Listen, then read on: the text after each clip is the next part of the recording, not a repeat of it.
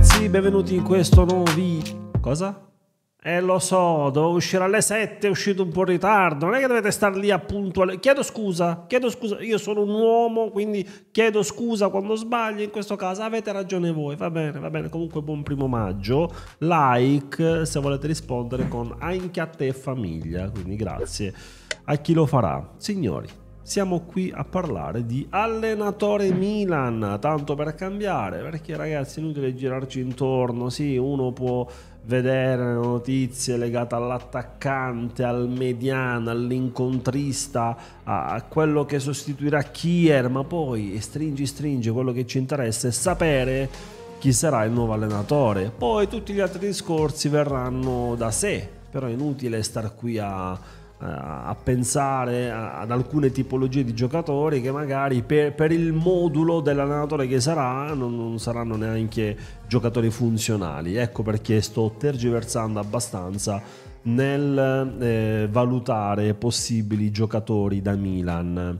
Eh, volevo fare ad esempio un video con tutti i parametri zero disponibili e capire chi, a chi potrebbe eh, puntare il Milan, eh, però anche lì che senso ha se non so chi sarà l'allenatore del, della prossima stagione. Comunque mi sono fatto un bel po' un giro sul web per vedere un attimino tutti gli allenatori accostati al Milan, le, le, situazioni attuali, perché vi ricordate c'era anche Xavi che poi ha deciso di invece rimanere al Barcellona nonostante avesse annunciato il suo addio un po' di mesi fa.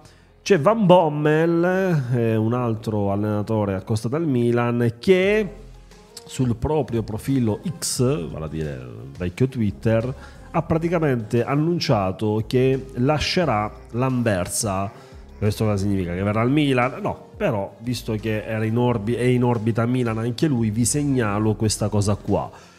Eh, poi cos'altro? Chi c'è? Chi c'è ragazzi? Eh, io l'altro giorno, ieri, vi ho parlato di Sarri secondo me non sarebbe neanche male come alternativa. È ovvio, ragazzi, che ne parlavo anche ieri con, con Stefano su, su WhatsApp, no?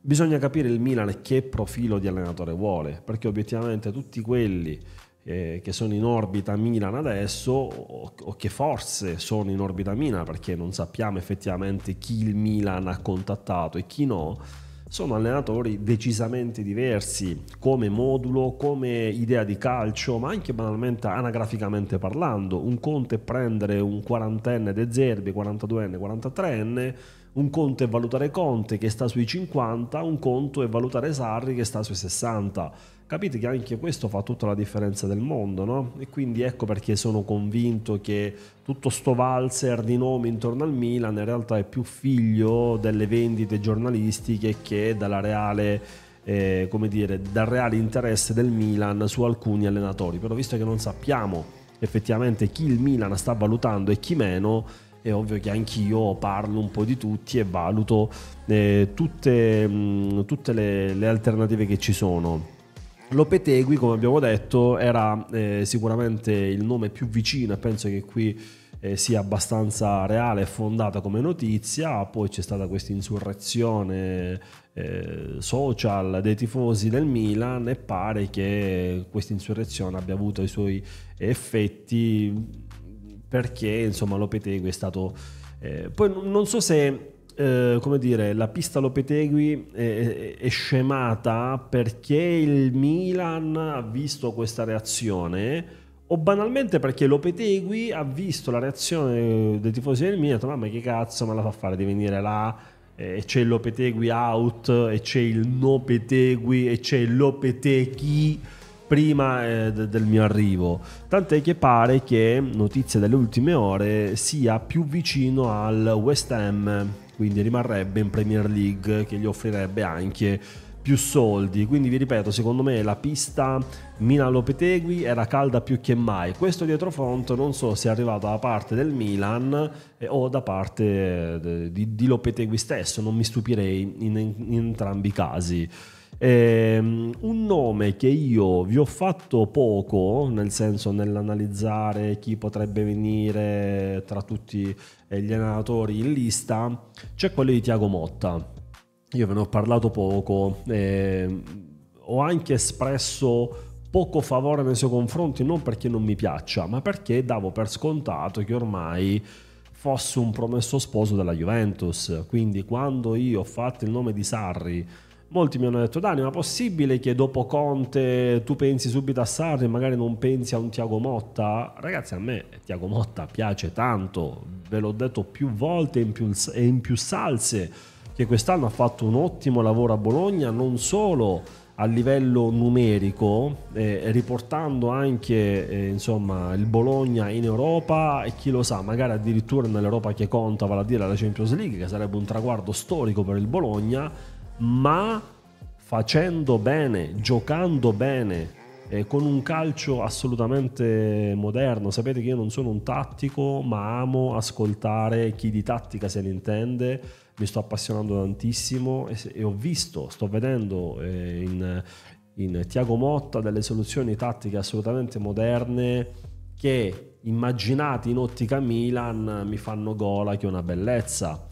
Eh, Tiago Motta è riuscito a valorizzare tantissimi giocatori e quindi questo valorizzare potrebbe anche rientrare un po' no? dire, nel, Ehm, nelle priorità della società, perché è un po' eh, quello che vuole il Milan, no? avere un allenatore che riesca a valorizzare i giovani o a eh, ri- rivalorizzare anche un po' i meno giovani, quindi sotto questo punto di vista lui sarebbe perfetto e poi appunto hai un calcio moderno, eh, offensivo, eh, che a me sinceramente stuzzicherebbe tantissimo.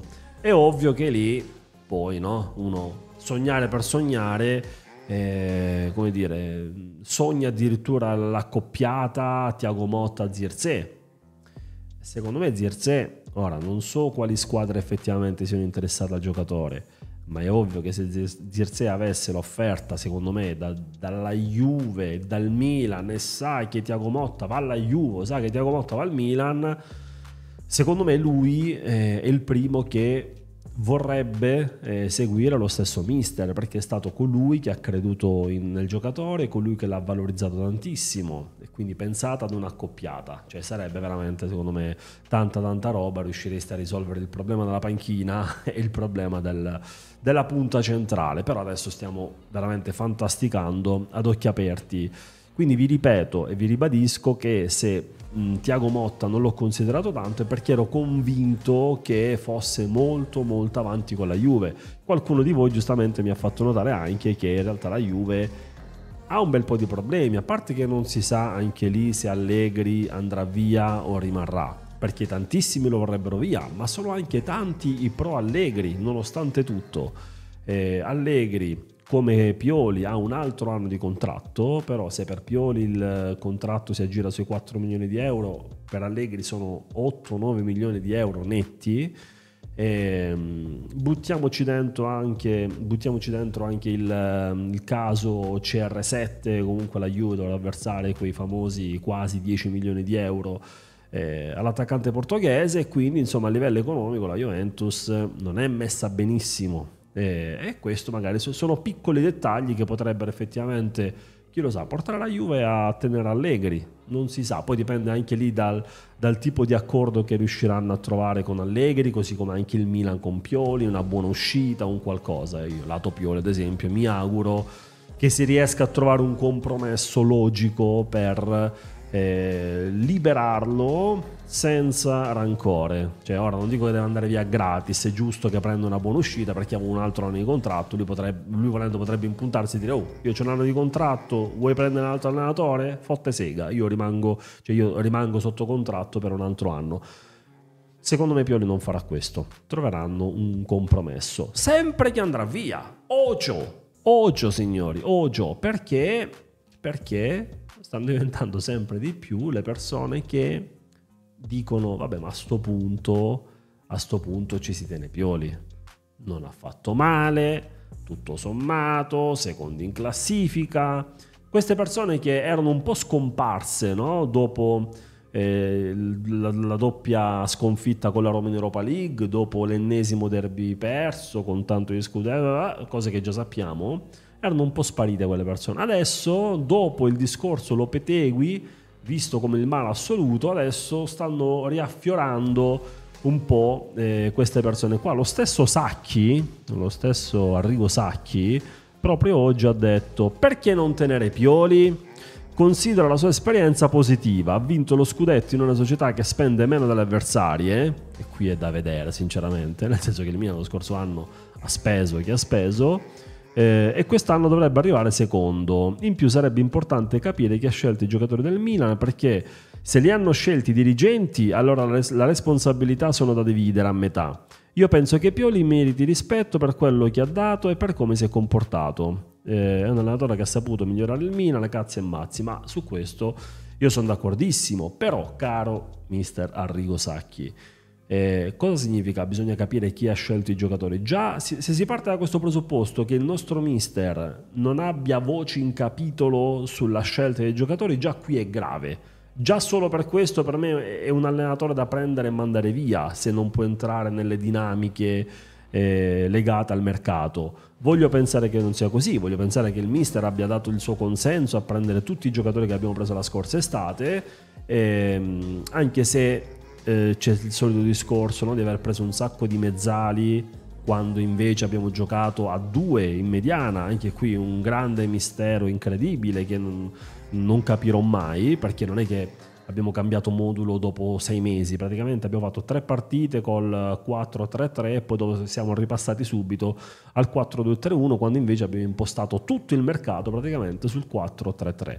Detto questo ragazzi, vi ripeto, per me sarebbe un suicidio. Ora come ora andare avanti con, con Pioli, ma vi ripeto, non perché lui sia il male assoluto, ma perché credo che abbia dato tutto quello che c'era da dare.